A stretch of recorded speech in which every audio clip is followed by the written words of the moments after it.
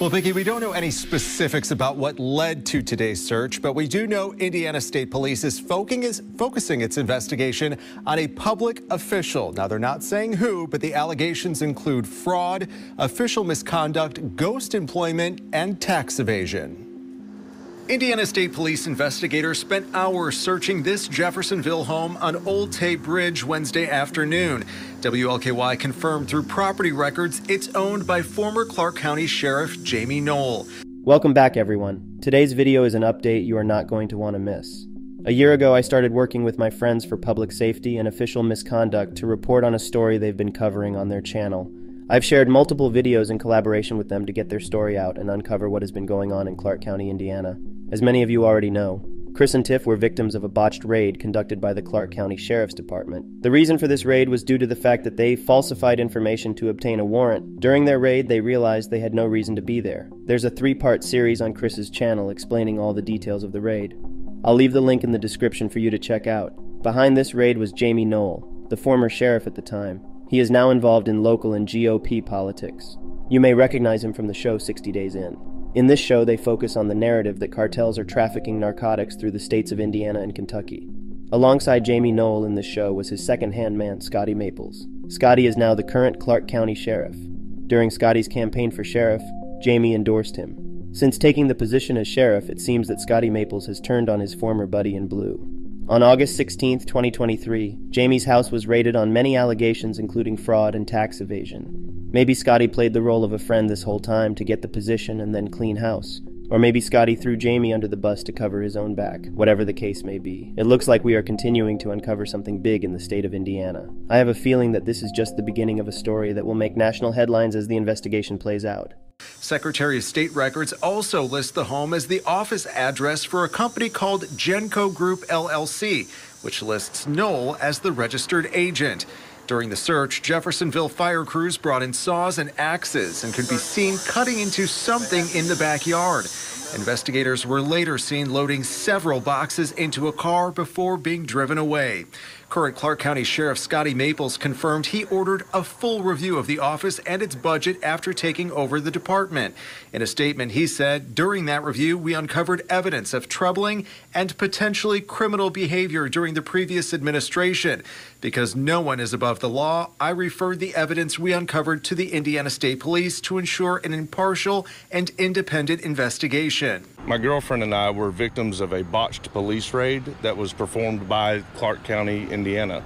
Uh, police department, sheriff's department. According to court documents, Chris Ryder was severely beaten during the raid and his girlfriend's back was broken.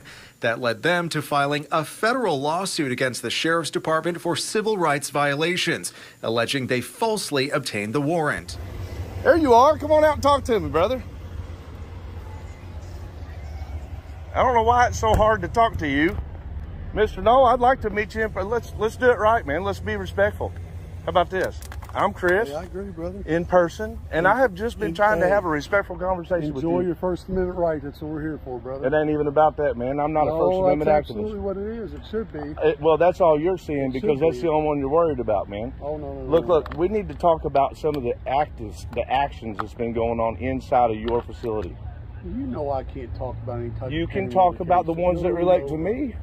Can't talk about no pending litigation. Well, how come? Well, mine's not pending yet, is it?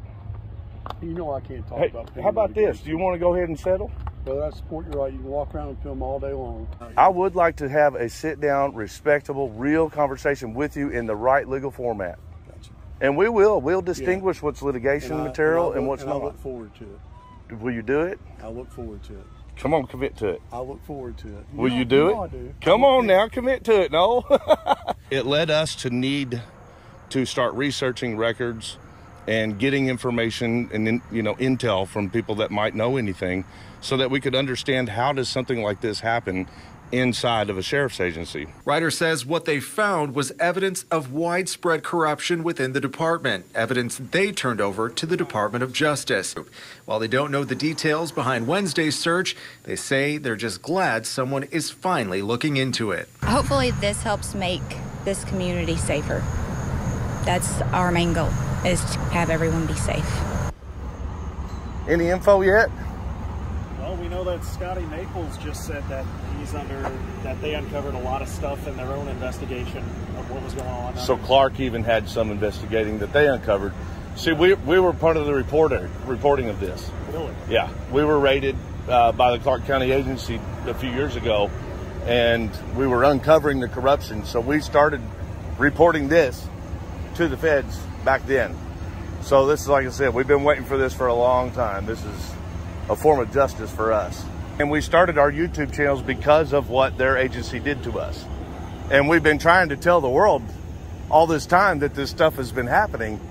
And we've kind of got, you know, you're crazy, your conspiracy theory, you know.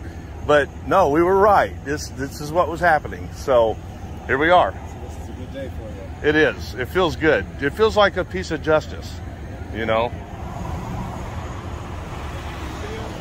That's fine. Just stay back a little bit further. than What you I'm a, I won't pass the tape, buddy. Well, just stay back.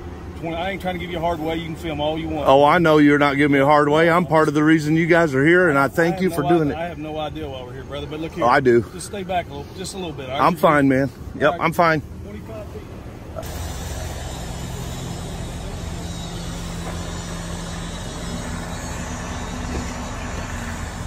We're done, man. 25 feet. That's the 25 feet from the thing.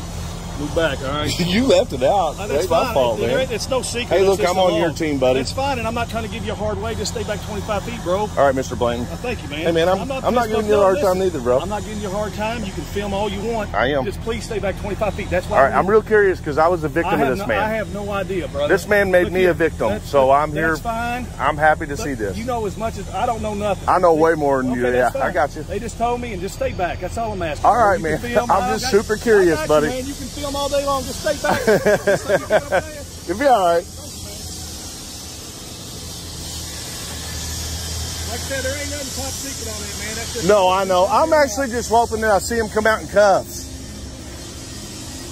It seems like the cops here are just as problematic to the community as the criminals they base the whole show on. I just hope this isn't one of those situations where one police department investigates another and they let them off with lesser charges than what is initially being reported. I guess we will have to wait and see what transpires from this raid. I want to give a special shout out to Chris and Tiff for continuing to report on this unfolding story, and a shout out to you viewers at home for tuning in and sharing it. Together, we will all continue to uncover corruption and misconduct. Noel is also the CEO and chief of New Chapel Fire and EMS, which provides services across Clark County. His assistant chief confirms that ISP troopers serve search warrants at three of those stations and says that operations will continue as usual during the investigation. At this point, ISP is only saying that it is investigating a Clark County public official and the warrants involve allegations of public corruption, tax evasion, fraud, ghost employment, and official misconduct. Mm, ooh. San Joaquin, San Joaquin. Mm. Yeah.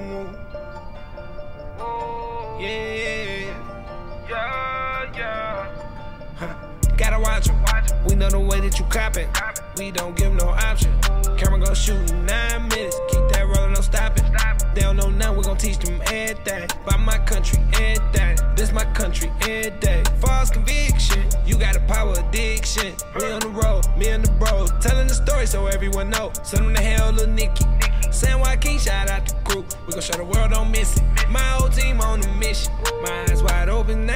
Everything you doing. We gon' check the law. I know my rights like I passed the bar. I'ma make sure you know yours and all. Home of the brave, free us all. Can't do it all and we standing tall. Only real criminals behind bars. Only real criminals behind bars. Oh, excuse me, Mr. Officer. Why you wanna pull me